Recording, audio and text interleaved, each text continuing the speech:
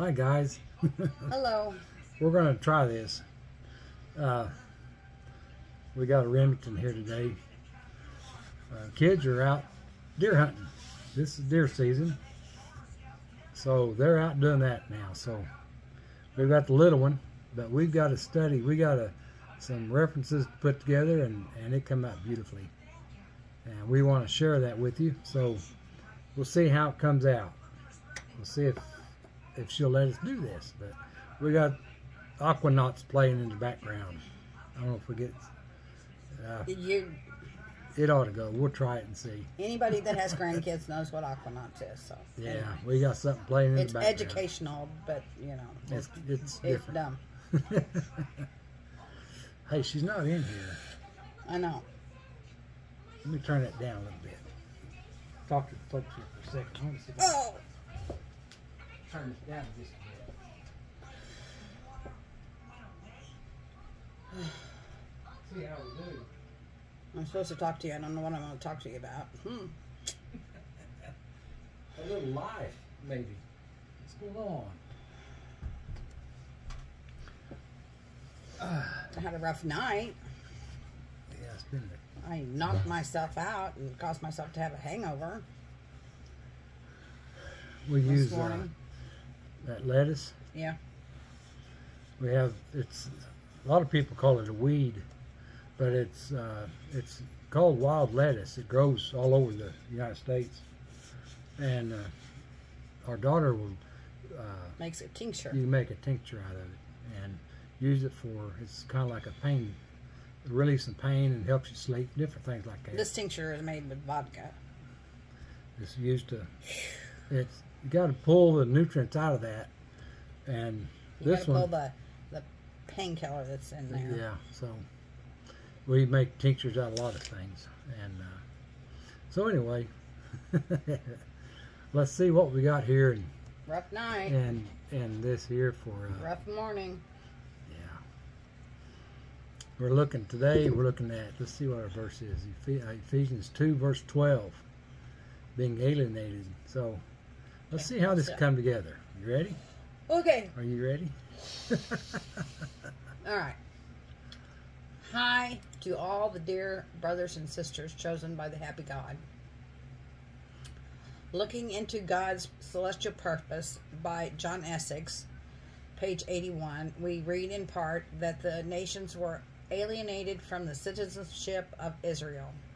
Divine intervention was needed before Peter could accept the fact that God was about to bless the Gentiles along with his own people. The nations were only guests of the promised covenant, having no expectation and without God in the world. Yeah. The word guests means lodger. What's that exon in Greek?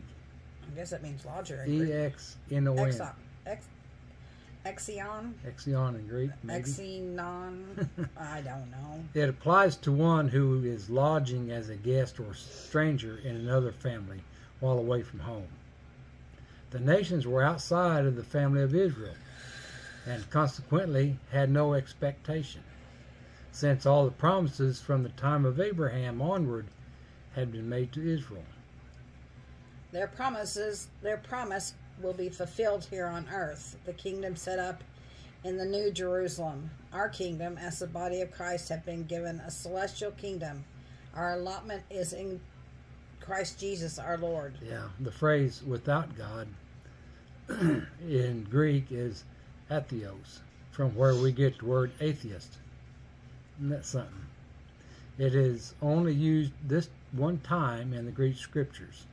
Contrast to having no expectation and without God in the world, with the status of Israel at the at the time, who is a sonship and the glory and the covenants and the legislation and the divine service and the promises, whose are the fathers, out of whom is the Christ, according to the flesh, who is over all. Be God be blessed for the eons. That's Romans nine, verse four and five. But now, God proposes to effect a change Yeah, from the law into grace, so that believers out of Israel and those from among the nations shall shed their distinctions between Jew and Greek and enjoy the same blessings and share the same expectation. Through both, the blessings and the expectations will be far more lofty and far more glorious than those previously enjoyed Yeah. by Israel in respect of the kingdom. In the next few verses down from Ephesians 2:12, all distinctions are nullified. All divisions destroyed and a new humanity is in, is created in which no disunion exists. Now, imagine that. So, we're gonna, we're, of course, we'll go down through every verse and, and we'll bring these truths out as as we come to them. So, Ephesians two twelve says, reads that you were in that era apart from Christ, being alienated from the citizenship of Israel, and guests of the promised covenants, having no expectation and without God in the world. Colossians 1 3 through 6, we are thanking the God and Father of our Lord Jesus Christ, always praying concerning you on hearing of your faith in Christ Jesus and the love which you have for all the saints because of the expectation reserved for you in the heavens, which you heard before in the word of truth of the evangel, which being present with you according as in the entire world also is bearing fruit and growing, according as it is among you also from the day on which you you hear and realize the grace of God in truth. you know, we're growing in this thing together. It's just amazing. You know, we don't know Marcia now. We don't know it all. We're growing, know nothing. and we are learning. You know, it's just a process. I learn something new every day, and I still don't know nothing. Oh, we just we're just excited for what's come through. It's amazing. Colossians 1, 21 through 28, right? And you, being estranged and enemies in comprehension by wicked acts, yet now he reconciles by his body of flesh through his death to present you holy and flawless and unimpeachable in his sight. Since surely you are persisting in the faith, grounded and settled, and are not being removed from the expectation of the evangel, which you hear, which is being heralded in the entire creation, which is under heaven, of which I, Paul, became the dispenser. I am now rejoicing in my sufferings for you, and I am filling up my flesh. I don't know if I'm rejoicing in my sufferings. I'm telling you right now, they're getting pretty rough.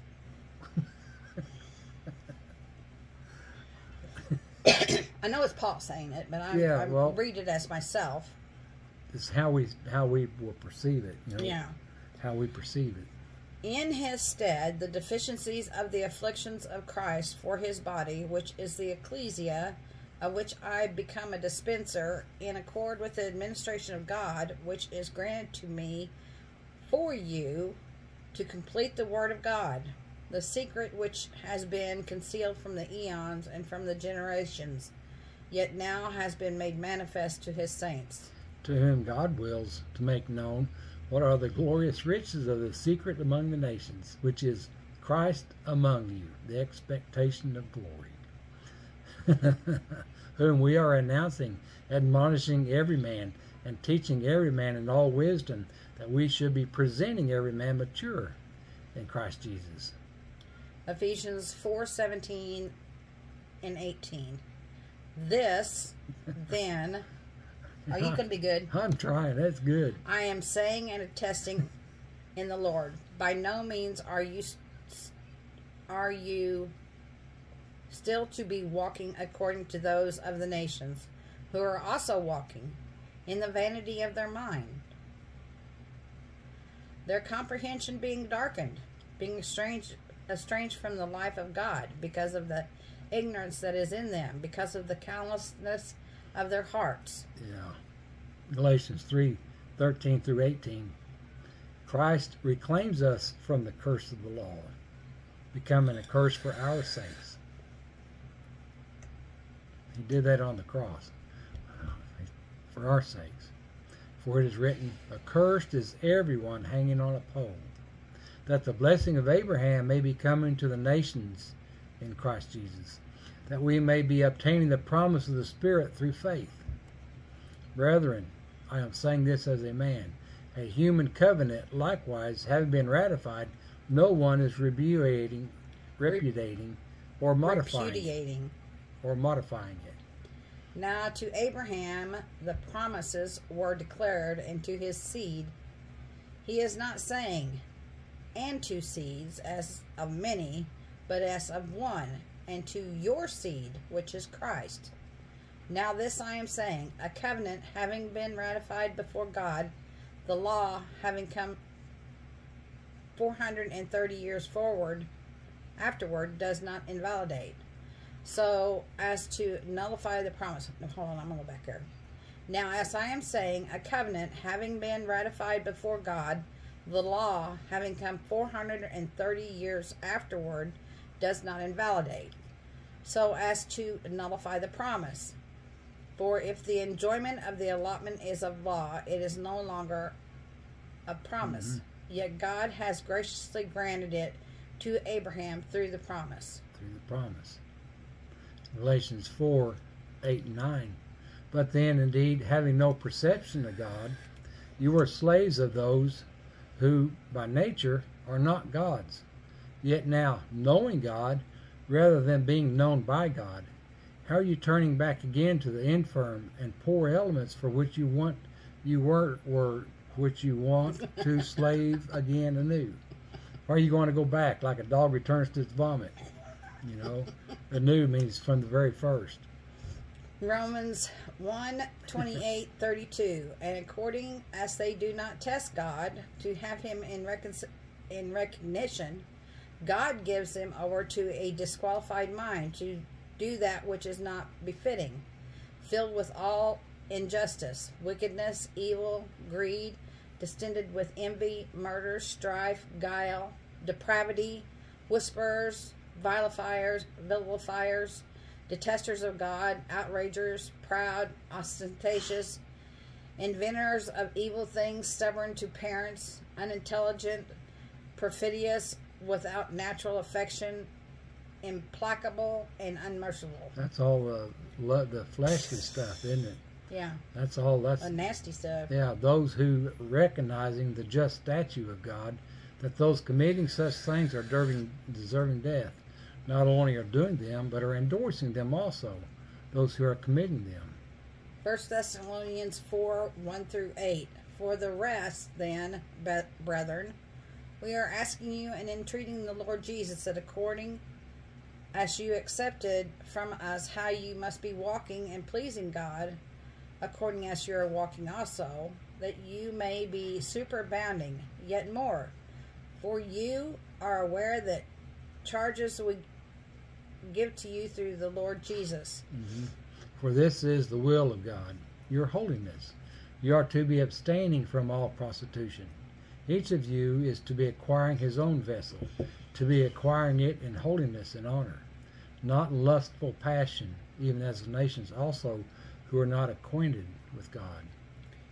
No one is to be circumventing and overreaching his brother in the matter, because the Lord of the is the avenger of all these, according as we said to you before also, and certify. For God calls us not for uncleanness, but in holiness. Yeah, uncleanness is the fleshly desires. Mhm. Surely he, surely in consequence, then, he who is repudiating, Repudiating. repudiating, is not repudiating God, uh, man, but God, who has also given His Holy Spirit to you. My ditch went my umbrella's got an itch on it. Sorry. Oh, Second Thessalonians two thirteen and seventeen. You want me to scratch your belly for you? I'm good. Oh, dang. Now, we ought to be thanking God, always concerning you, brethren, beloved by the Lord, seeing that God prefers you from the beginning for salvation, in holiness of the Spirit and faith in the truth, unto which He also calls us through our evangel, for the procuring of the glory of our mm-hmm. Lord Yeah. Oh, you're good. The glory of our Lord Jesus Christ. Jesus Christ. I get that's exciting. He calls us into that. to me, that's consequently then, brethren, stand firm and hold to the traditions which were taught by us, whether through word or our epistle. Now made our Lord Jesus Christ Himself and God our Father, who loves us and has given us an Aeonian consolation and a good expectation of grace, be consoling your hearts and establish you in every good work and word. yeah. Woohoo! Goofball. Man, I tell that's Second Thessalonians 2, 13 through 17. Wow. You okay now? That's good. Oh yeah, I'm good. All right. Yep. First Corinthians 8 6. Nevertheless, for us there is one God, the Father, out of whom all is, and we for him, and one Lord, Jesus Christ, through whom all is, and we through him. Those are the references we found for uh, what was it, Ephesians two twelve, wasn't it? I think so. Climb back up there and look I at that. know. Yeah, for Ephesians two twelve. That those are the references we found for it. Now, going through this study, this passage of scripture brings out this for us today. It says, Now to him who is able to do super excessively above all that we are, are requesting or apprehending, according to the power that is operating in us. To him be glory in the ecclesia and in Christ Jesus for all the generations of the eon of the eons. Amen. Ephesians 3 20 and 21. that is so awesome. Oh, I hear a little girl. That is perfect. That is perfect. So, anyway, She We- was good this whole time. yeah, she's done really good. I'm I'm really glad glad glad, glad uh, happy happy. If you're happy and you know it, slap your hands. Anyway, we love you guys. Yes, we Thanks do. for putting up with us. You know we we we enjoy coming out and doing these. We're going to do a video on uh, see if we can tell some of Marsha's stories sometime. I'm not sure we're going to do that, but it'll be neat to hear because I don't know that I know it. I know some of it, but uh, we've all got a story. like God has pulled us into this where we're at today, and we by looking back, we can see where the where it turned. Where it says, "Drink, okay, here's your calling," and He pulls us into this, into the. I don't have a calling. Oh, you was called into this. Well, I he was was called into chosen this, you. but I don't have a calling.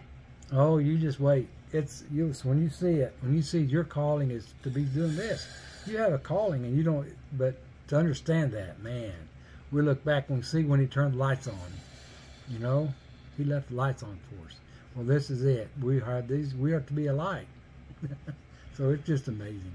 Yeah. But anyway, it's time to go see what God's got for us, Yeah, and uh, we love you guys. we love you too. Yeah, we really do. Yeah. Thanks for hanging out with us. Yes, thank you. grace, peace, and much love to all. And uh, we'll, we'll catch you tomorrow, Lord willing, and the creek don't rise. Right? okay. we'll see you later. Or I don't have two deer to put up.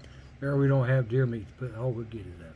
We'll get this. We'll sneak in to get this one done. 'cause tomorrow, it's another good one. Uh, we'll see you then. Bye.